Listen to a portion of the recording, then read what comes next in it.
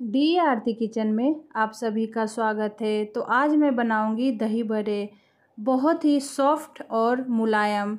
एक बार में ही आप परफेक्ट दही बड़ा बनाकर रेडी कर सकती हैं। मैं आपको एक सीक्रेट ट्रिक्स बताऊँगी।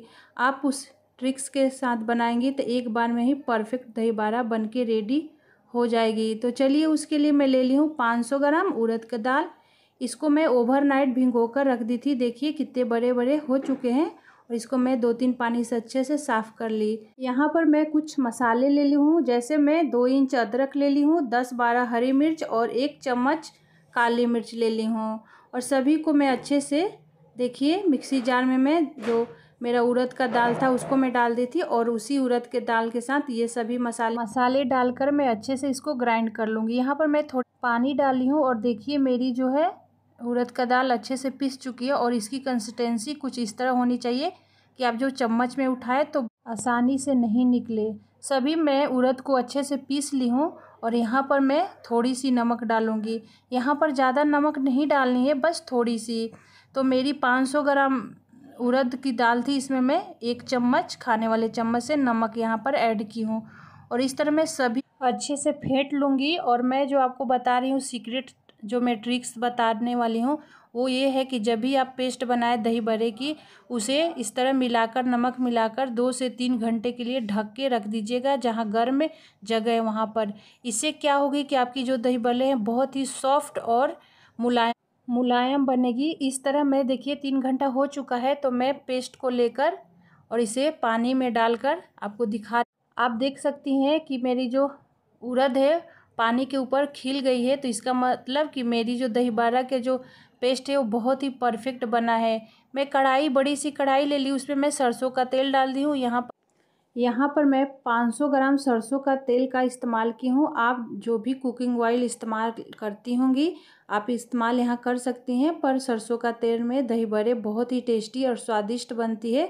तो इस तरह मैं सभी दही बड़े को एक एक करके डाल दूँगी और अच्छे से इसे फ्राई कर लूँगी। आप देख सकती हैं कितने खिले खिले मेरे दही बड़े दिख रहे हैं और आप इस सीक्रेट ट्रिक के साथ बन, बनाएँगी दही बड़े तो एक बार में ही परफेक्ट दही बड़ा बन के रेडी हो जाएगी। और मेरी जो कढ़ाई है, बहुत बड़ी है तो इसमें बहुत सारा एक बार में ही दही बड़े आ जाते हैं। तलने में बहुत ही आसानी होती है। इस तरह सभी को मैं तल लूँगी और बहुत ही आसानी से दही बड़े बन के रेडी हो जाएँगे, बहुत ही सॉफ्ट बहुत लोगों को प्रॉब्लम होती है कि मेरे जो दही बड़े हैं, बीच में हार्ड हो जाती हैं। पर आप इस सीक्रेट ट्रिक के साथ बनाएँगी दही बड़े तो एक बार में ही परफेक्ट दही बड़ा बन के बन के रेडी हो जाएगी और इस तरह मैं इसे पलट दी हूँ। इसे पलटने में ज़्यादा कोई झंझट नहीं है बहुत ही आसानी से ये खुद ब खुद ही पलट जाती है। आपको ज़्यादा मेहनत करने की ज़रूरत नहीं है। तो इस तरह मुझे लगभग पाँच मिनट हो गया इसे फ्राई करते हुए तो देख सकते हैं इसका कलर कितना अच्छा आया हुआ है। और सरसों का तेल में जब बनाएँगी तो ये थोड़ी सी इसका कलर जो है वो पीला पर दिखने लगती है, पर इसे पानी में आप डालेंगी तो फिर वाइट हो जाएगी और बहुत ही सॉफ्ट बन के रेडी हो जाती है। और यहाँ पर जो आपको फ्लेम रखनी है वो मीडियम फ्लेम रखनी है हाई फ्लेम पहले से मैं एक भगोने में पानी रख, रखी थी, ये ठंडा पानी है, इसमें मैं सभी दही बड़ों को इसमें निकाल के पानी में मैं डाल दूँगी। देखिए, पानी में जाने के बाद भी ये पूरी खिली खिली दिख रही है। देखिए, पानी के ऊपर ये आ गया है तो ऐसे मैं चम्मच से इसको थोड़ा सा डिप कर दूँगी कि अच्छे से ये पानी पानी में ये अच्छे से एब्जॉर्ब हो जाए। देखिए, दो मिनट के बाद ज़्यादा इसे नहीं पानी में रखनी है। दो मिनट के बाद इस तरह मैं सभी को हल्का हल्का निचोड़ के पानी को निकाल लूँगी। देखिए, कितनी अच्छी दिख रही है और अभी से ही बहुत ही स्वादिष्ट दिख रही है और आपको अब दही बड़े खाने के लिए सॉफ्ट दही बड़े मार्केट जाने की कोई ज़रूरत नहीं है। आप अपने घर में इस तरह बना सकती हैं, बहुत ही आसानी से इस तरह आप दही बड़े रेडी कर सकती हैं। सभी को मैं पानी से निकाल ली हूँ, निकाल ली सभी दही बड़े को और यहाँ, देखिए, यहाँ पर मैं दही ले ली हूँ। ये गाढ़ी दही है, ये दो लीटर दही है और इसमें अब मैं आपको बता रही हूँ, देख सकती हैं, कितनी गाढ़ी दही है। दही बड़े में जो दही है, वो गाढ़ी होनी चाहिए।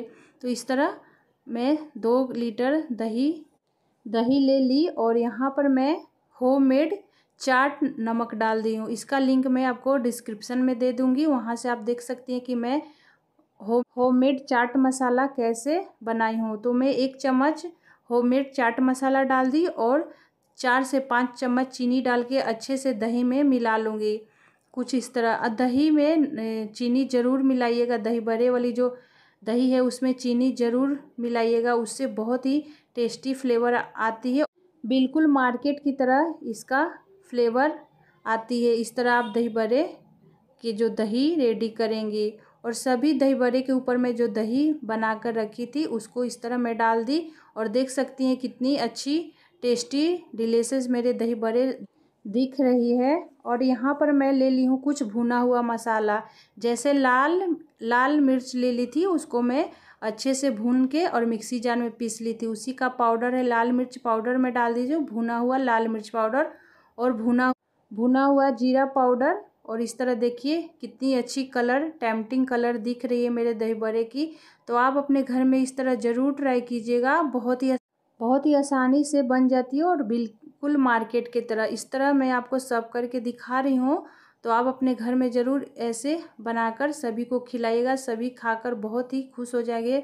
यकीन मानिए, ये दही बड़े जो हैं, बहुत ही सॉफ्ट बन, बनती है और यहाँ पर मैं आपको काट कर दिखाऊँगी। और यहाँ पर मैं थोड़ी सी इमली की खट्टी मीठी चटनी डाल दी हूँ। आप चाहे तो यहाँ पुदीना की हरी चटनी भी डाल सकती हैं, पर मैं सिर्फ़ इमली की खट्टी मीठी चटनी डाली हूँ। इससे बहुत ही स्वादिष्ट लगती है। और इसे अब मैं आपको काट कर दिखा रही हूँ।